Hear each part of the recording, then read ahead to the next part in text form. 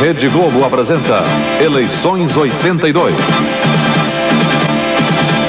Oferecimento TV Mitsubishi, o único que dá garantia total até a Copa de 86. E Century, o baixo teor gostoso de fumar. Mude para Century. Century, a mudança importante.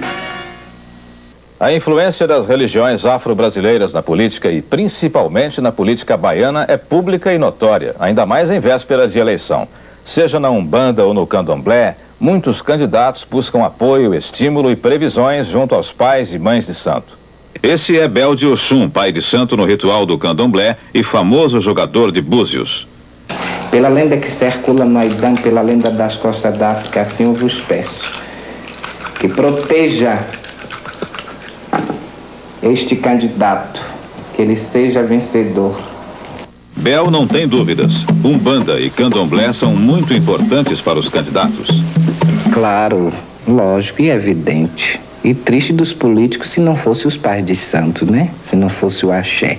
Mário de Xangô, graça da Umbanda na ajuda que pode dar aos candidatos. 100%, em muitos casos 100%, não vou dizer 99 não, 100%, o conselho, a orientação de um pai de santo, quando ele é reconhecido por aquele que o consulta, pode contar que as palavras dele é como se diz, é lei.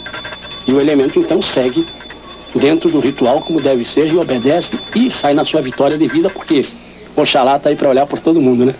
Jabel de Oxum vê muita demanda, muita guerra de orixá para ser vencida através de trabalhos e oferendas pelo político que deseja vencer, principalmente se o candidato oposto também for bom de santo. O outro lá deu um galo para algum, então nós aqui vamos dar um bode. Se ele lá der um bode, nós aqui vamos dar um boi. E assim sucessivamente. Mas se o candidato fizer tudo direitinho, Bel não duvida dos resultados.